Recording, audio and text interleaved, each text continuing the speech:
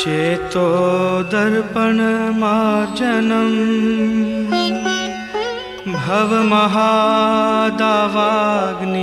भवमहादावाग्निर्वापणम् श्रेयः कैरवचन्द्रिकावितरणम् विद्यावधूजीवनम् आनन्दाम्बुधिवर्धनम् प्रतिपदं पूर्णामृतस्वादनम् सर्वात्मा स्नपनं परं विजयते।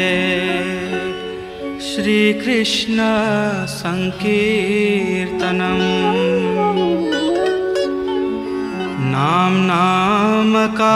बहुधा निज सर्वशक्ति तत्रार्पिता नियमितस्मरणेन कालः।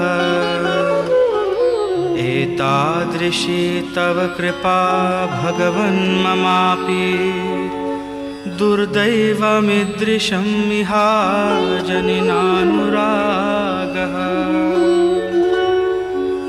तृणादपि सुनिचेन तरोरपि सहिष्णुना। अमानिना मानदेन कीर्तनीय सदा हरे।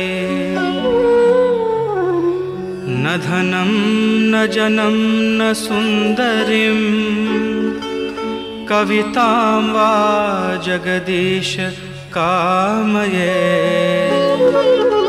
मम जन्मनि जन्मनीश्वरे। भवताद्भक्ति अहेतुकी त्वयि।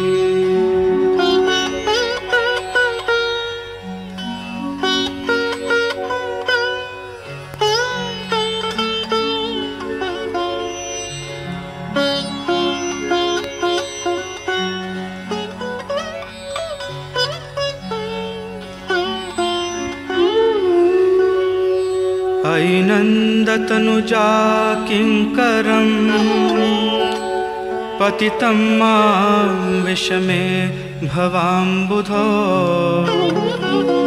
कृपया तव पादपङ्कज।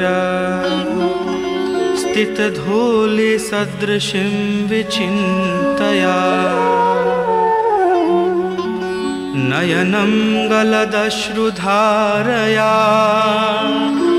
वदनं गद्गदरुद्धया गिरा पुलकैर्निचितं वपु कदा। तव नाम ग्रहणे भविष्यति। युगायितं निमेषेण चक्षुषा प्रावृशायितम्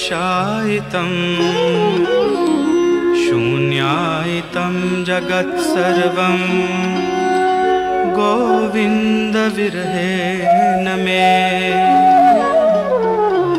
आश्लिष्य वा पादरतां पिनष्टुमा